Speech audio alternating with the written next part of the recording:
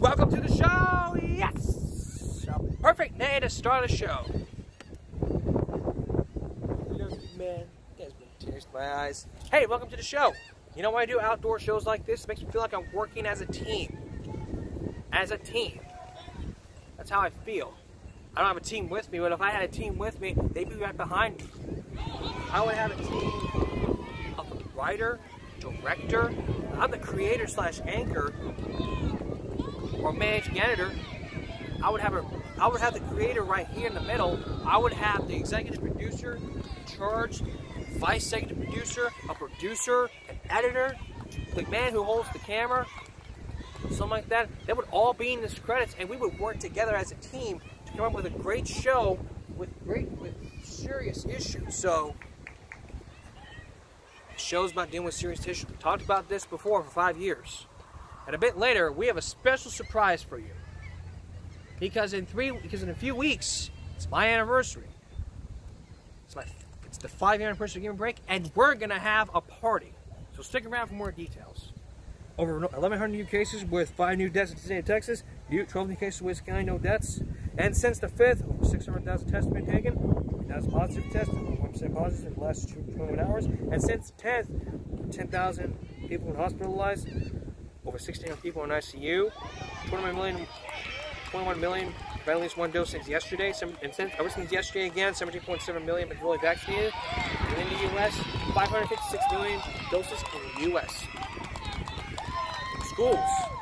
Well, yesterday there was only one junior high student had COVID. The rest were zeros. And today, two two schools, two separate schools have COVID. One was from an elementary staff, and the other was a primary student. What about the rest? The rest were zeros. It's good. That just shows to teach people that you need to be vaccinated. If your child's scared of getting vaccinated, then it's okay for them to ask questions. Talk to their doctor. If they're scared or it's against their religion, okay, I get it. But probably nobody has the right to be asking questions like that. And even if, I mean, one has a right. So, of course, everybody has a right. I mean, if you're scared of getting the vaccine, you can always ask questions. I mean, after the second, I didn't even ask questions about the, the second dose because I experienced a side effect. After a while, I took a Tylenol or ibuprofen, and and by the time that happened, I felt okay. I felt better. So it's okay. It's okay to ask questions. But what it comes down to is whether you're on the mandatory zone or whether you're in the optionary zone. Let me show you. Say that this sidewalk here is the mandatory zone, and the grass.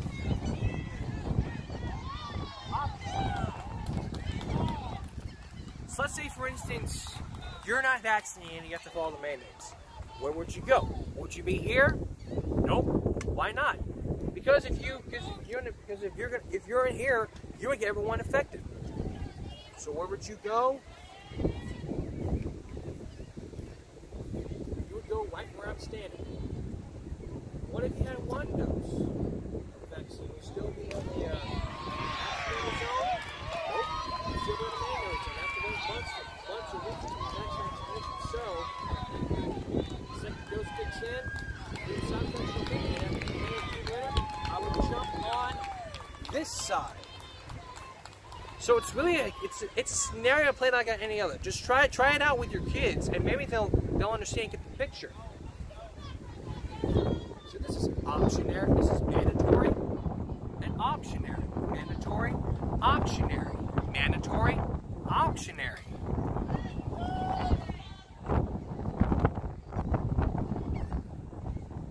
Mandatory, optionary. Mandatory, optionary. And what happens when your kids are, I mean, if your kids don't know that, then maybe practice this technique with them. With the light side, dark side. Have them, this exercise, it'll teach them that if you're on the, if you're on the dark side, you're still in the mandatory zone. But if you're on the light side, which is the good side, then you're mandatory. Here's how it goes. Light side, dark side. Light side, dark side. Light side, dark side. That's how that's how it works. And now I'll teach them. They'll, they'll have a neurological path in the brain and have to realize, oh, this is what can happen.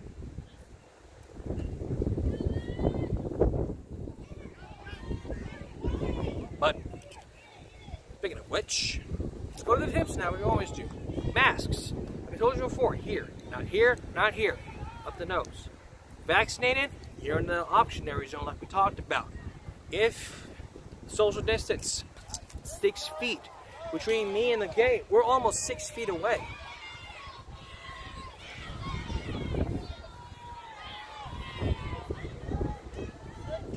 Hand washing. Again, washing your hands. Soapy water, 110 degrees, hot water. If you're in a restaurant, you gotta do the same thing every half hour to an hour. Plus, you need to make sure that you disinfect your area. They have disinfectant wipes. You have Lysol. If you have those things, it'll help disinfect your area. Then we can all be safe. No point. If you're quarantined, five days. After the fifth day, you can test it again.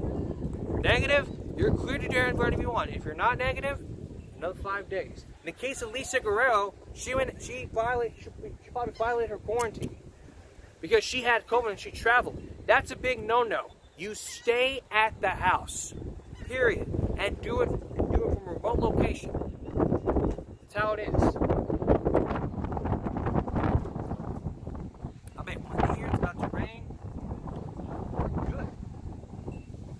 All right.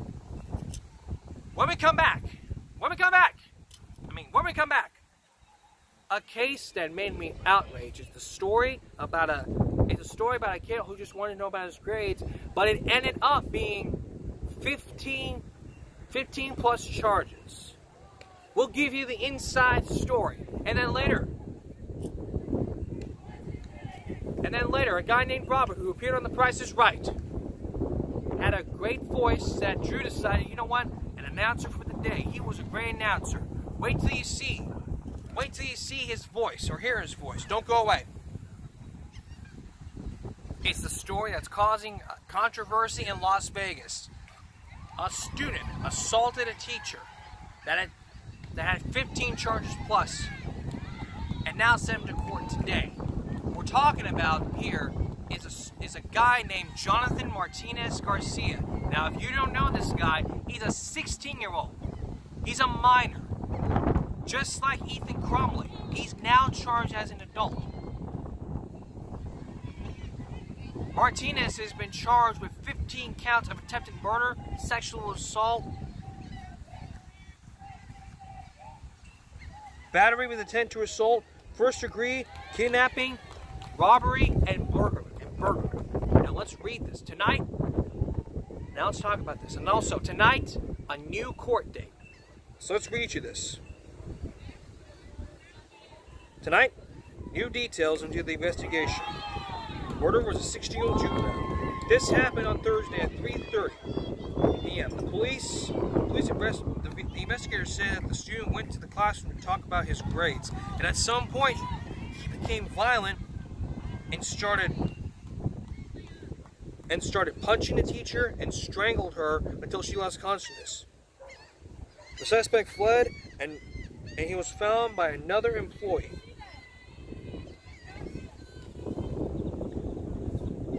Now taken into custody, transported to the Clark County Detention Center, charged with attempted murder, sexual assault, battery with attempted assault, first degree kidnapping, and robbery and burglary. Now, what's interesting about this case, after that, teachers went on to protest to raise concern of safety, but the district is working on implementing the safety measures. And now just today, as hours ago, right after I started, right before I started filming, the media, it was released, they released his name because he's now charged as an adult.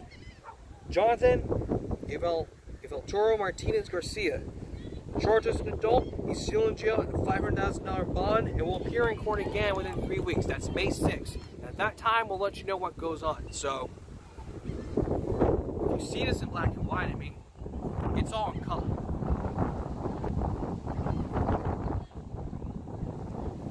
You're starting to look at this case and compare and say to yourself, I mean, this is just like Ethan Crumbley.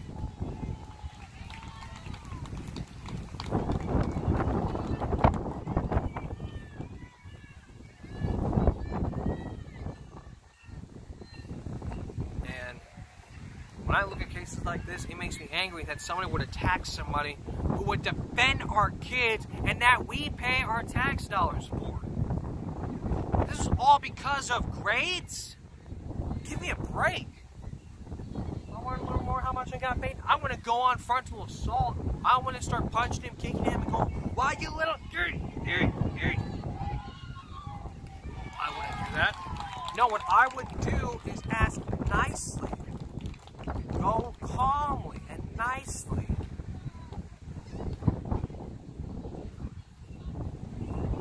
And if, if they don't have time, then you tell me tomorrow. I'm like, I'll check in and I'll let you know. You ask me again tomorrow. I'm like, okay, sure, no problem. Labs or talk about after school.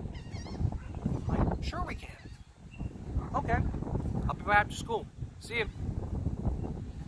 I to go on yelling, screaming, cursing, throwing fists, throwing punches, grabbing the chokehold like that, and then all of a sudden he consciousness. The victim was a teacher. The teacher has not been identified yet, but we'll know soon enough as, as more of this story unfolds. What's interesting about this, so here's what's interesting about this case. This is very similar to what happened in Oxford, Michigan.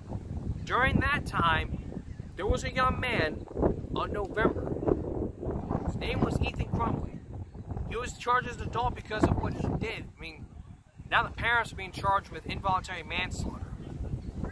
What's so interesting about the case is that the parents bought a gun. And that have happened, poss incidentally, incidentally, what would have happened here, there were injured teachers, injured students, and possibly a lot, a lot of people murdered.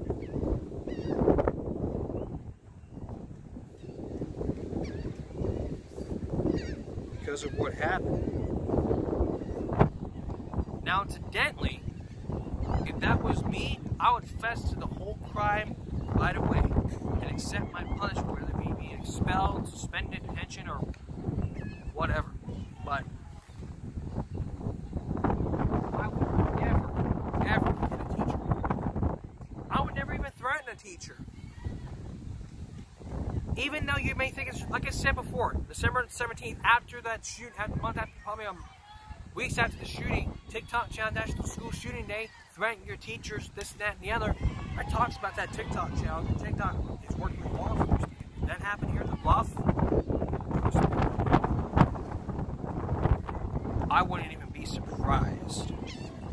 I'm Sorry about that, it's very windy. There's nothing I can do.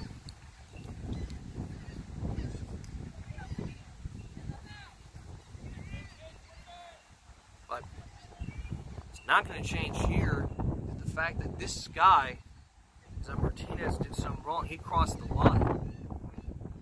And if I was that kid, kid's parents, I would be high-fiving him I would take away his things. Take away his TV, his video games, his toys.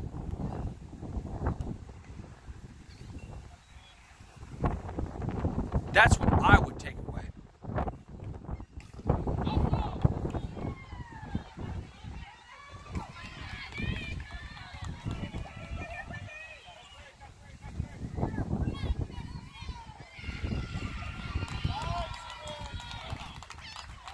And there's probably no issues here. By the way, score is 15-7.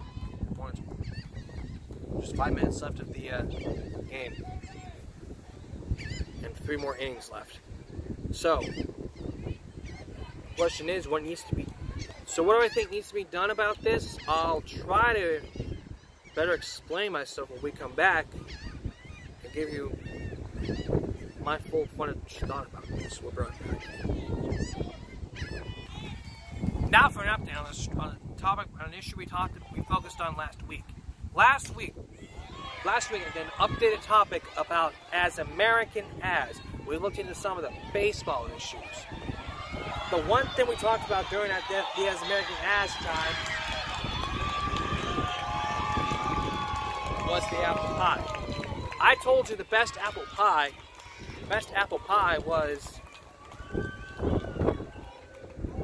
Golden Corral. A lot of other people said Popeyes, and I don't think Popeyes sells apple, that apple pie. Church's sells apple, pie. and what I forgot to mention was that Church's sells apple pie. That's the one thing I forgot to mention. And a lot of people have said Popeyes, and I don't know, possibly. Still doing one of probably the best apple pie ever. Back in a moment more, give me a break. We're talking about an incident that happened in Las Vegas just weeks, just a week ago, prior, prior to this. Now, last week, we, we focused on a student named Jonathan Martinez Garcia, who was charged with 15 counts of sexual assault, aggravated attempted murder, etc. This is the case. This this whole case. This case was about a student, about someone who wanted to know their grades, but ended up, but the victim ended up unconscious.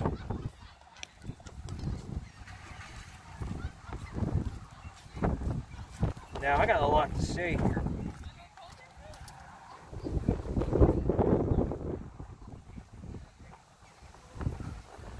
When it comes to everything that's happened, I got a lot to say when it comes to this case. In this case, and things that really frustrate me was the name being disclosed. That was very, very, that's very outrageous. It's very outrageous. If I hear something like, heard something like that, then I wonder what, what the hell is going on? Why isn't more being enforced? Why, why didn't the prosecution hear Karen McDonald's claim? I mean, that's because from the school shooting. But this happened again. Will we do the same thing? Absolutely, we would. Why? Because we don't want to disclose his name. We don't want him to feel terrified. I mean, that's just another target for another school shooter with the threats that happen. It's all because of the minors who deal with this crap. Who don't want to go to school, don't want to be with their friends, some, and this and that and the other. So, what you got here is two people who are charged as an adult. One from Michigan and one from Las Vegas. Two people who are now charged as an adult.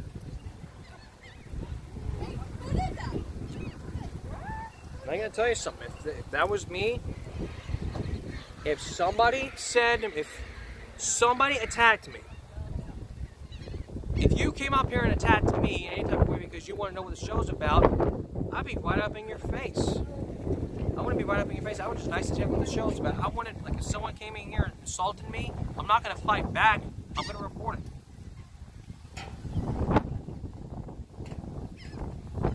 But, I'll tell you something right now. If I was in that kid's shoes, but parents in this case they didn't even know. I mean, you can't possibly understand what this and that's all about. You can't even understand about what goes on here. I mean, look at what he's doing. I mean, look, he's probably failing his classes. He's probably probably failing his classes. He's probably doing this. He's probably doing that. Look at what he's writing on the walls. Look at what he's planning in the future. Look at this. Oh, he's doing.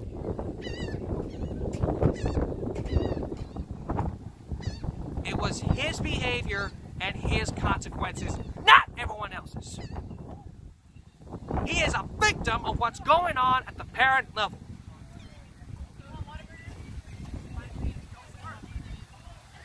So, yeah, we'll be updating this case, and we'll tell you what happens.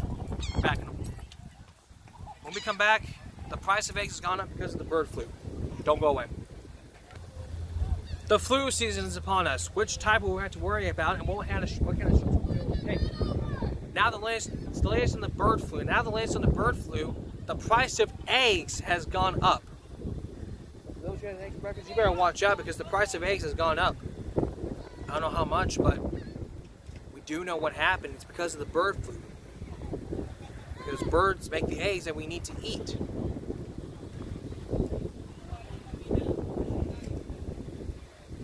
Probably during the H1N1 swine flu, it was all about the eggs at that. But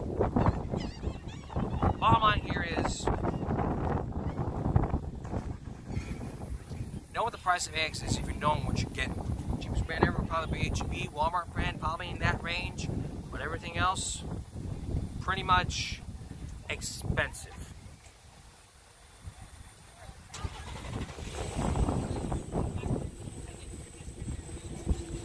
And we're back in a moment with a uh, game show moments. Family Feud and Price is Right. Do you like the Maury Povich show? Nothing makes you feel any good than just. Nothing makes you feel any better than 225 pound, 220 pound baby in the afternoon, not two in the afternoon. That's not depressing on any level. But if you heard the news weeks ago, this year is going to be Maury's last year for season 22. He is now retiring after three decades of the show. He started the show back in 1991 and then years later became the subject of You Are Not the Father. So we wish him many thanks. Your watch Price is Right. I wish you feel any better than just hearing the words come on down and hearing the great announcer George Gray. They had this one person on who, who they had this one person on for from the show that uh, they didn't run the car. He didn't run the car, but he had a great voice. So they had and the people Drew had the idea to have him announce for a day, and he had a great voice. So we give kudos to Robert for the great voice ever. I mean, I can be a great, great host. You guys think. I be a great voice. You guys ever watch Family Feud? Well, that makes you feel any good than just uh, laughing at Steve Harvey's antics and finding the more funny moments ever. But there is an issue I do have to worry about, though, and that is the explicit answers. I mean, some very different. I mean, all this started back in 1999 with Louie Anderson. The question was, actually, it was when Ray Combs hosted. It was name a part of specific body that women try to accentuate. One person said the beat, breast, and then all of a sudden, and then the other one was a slight under means why he it rhymes with which. And then all of a sudden, everyone another one. Name something that's a man keeping a person. He says she says condoms and the other condom question was like name something name something people wear to bed. Nightcap, sweatsuit, and then the other one was condoms. and then 99, Louie Anderson. Name a part of the body gets bigger as adults get older. You know what that guy said?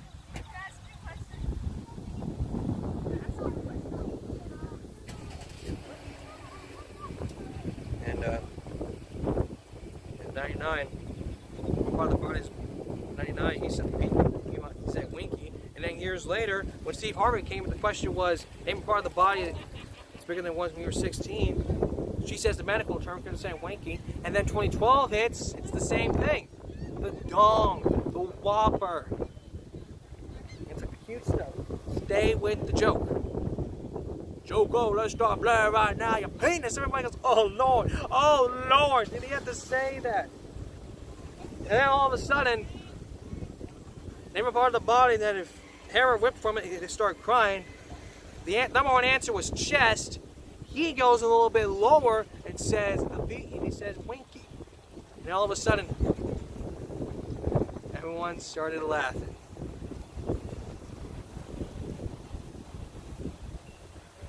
Now, what's the bottom line? It's watch it without an adult. You can, I mean, we don't want to hear people say like obvious questions want to hear a little laughter, like in this, like in this this question right here.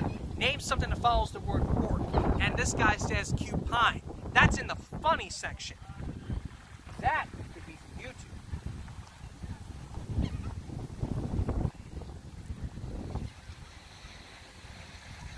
And then another one from years ago, oh, back in 2013. Name something that's doing the away. She says Winky, and then someone goes, so what's the bottom line here, guys? If you're gonna watch Family Feud, watch it with the parent. Family Feud has the word family in it. Other words, moms, dads, aunts, uncles, kids. That's family. And that's all for this edition of Give Me Break Tuesday. We'll see you tomorrow for Give Me Break, Give Break Wednesday. Thank you. Join us. Oh, there's another thing I want to point out. All this month, I'm going to cel- we're celebrating the one five year anniversary of the show. And to do that, we're going to be counting down the top five, top five to 15 moments of this show. And coming in at number 15 was just a moment ago to where, just a moment I'll describe, I'll describe to where was there's a honk and several honks and I couldn't even finish my sentence. So what had happened was I had to start over. Now if I had that tape, I would play for you, but I decided to shut it down. Good.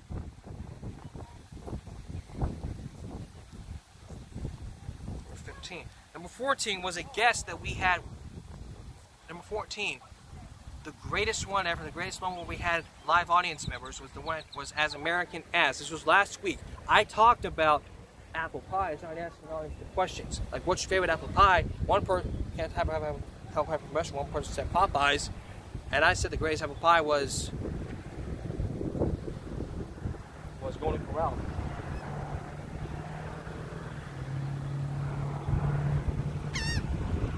So that's all. So that's just some of the moments. That's 14 out. That's two out of 15 moments. Count it down. Tune in tomorrow for another outrageous Give Me a Break Wednesday. And the next number in our five-year countdown.